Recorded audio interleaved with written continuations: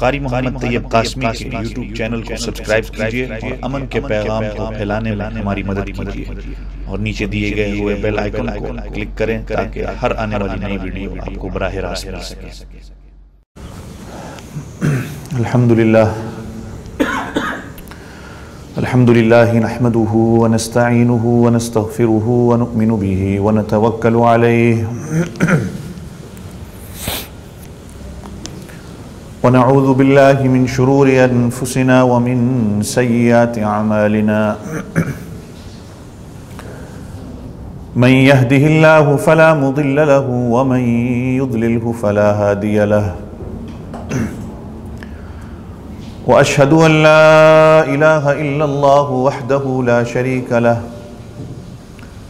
وأشهد أن سيدنا ومولانا محمدا عبده ورسوله. صلى الله عليه وعلى آله وأصحابه وبارك وسلم تسليما كثيرا كثيرا. أما بعد فأعوذ بالله من الشيطان الرجيم. بسم الله الرحمن الرحيم.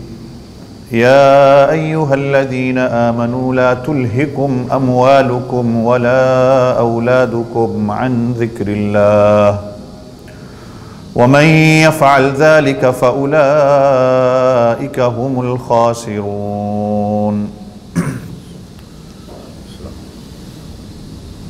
قال النبي صلى الله عليه وسلم توبى لمن وجد في صحيفته استغفارا كثيرا. آمنت بالله، صدق الله العظيم، وصدق رسوله النبي الكريم، ونحن على ذلك لمن الشاهدين والشاكرين، والحمد لله رب العالمين. ایک مرتبہ سارے ساتھی ذوق و شوق کے ساتھ درود شریف پڑھ لیں۔ اللهم صل على محمد النبي الأمي وعلى آله وأصحابه وبارك وسلم تسليما كثيرا كثيرا. تمام تعریفیں اللہ رب العزت کے لیے، جو میرا آپ سب کا کل جہاں کا پالن ہار ہے۔ بے شمار، بے حساب، لا تعداد، درود السلام امام الانبیاء، فخر دو عالم، سید کائنات، حضرت محمد الرسول اللہ۔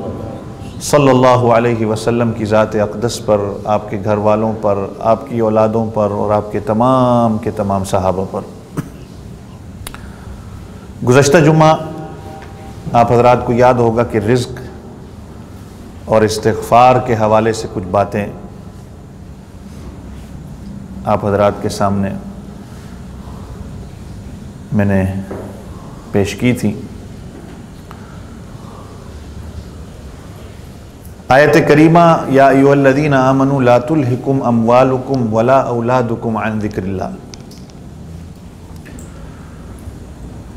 اللہ فرماتے ہیں کہ اے ایمان والو، تمہاری مال، تمہاری اولاد، یہ کہیں اللہ کے ذکر سے تمہیں غافل نہ کر دیں۔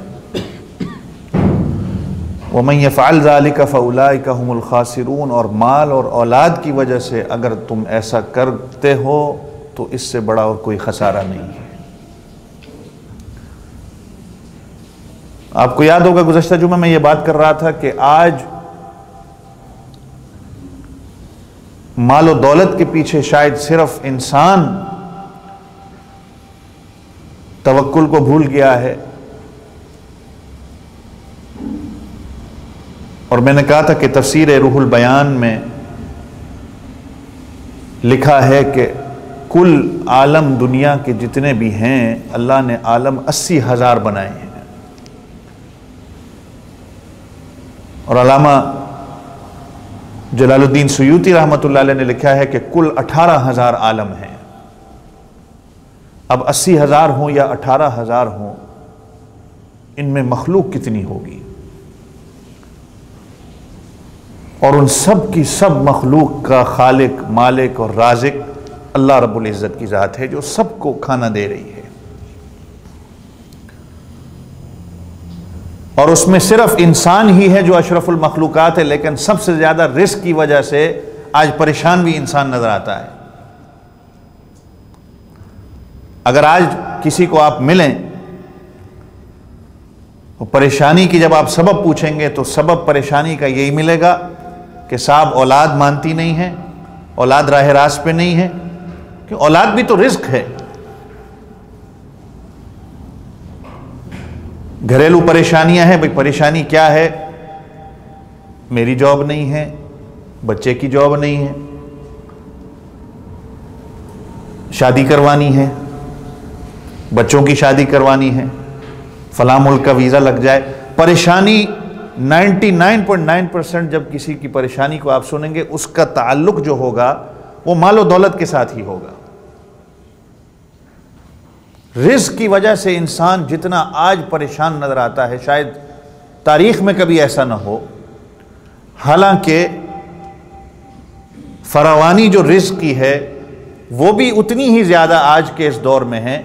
آپ اگر ابھی یہاں سے جمعہ پڑھ کے جائیں، آپ کا جو دل کرتا ہے کہ اگر میں فلاں چیز کھانا چاہوں، آپ کھا سکتے ہیں۔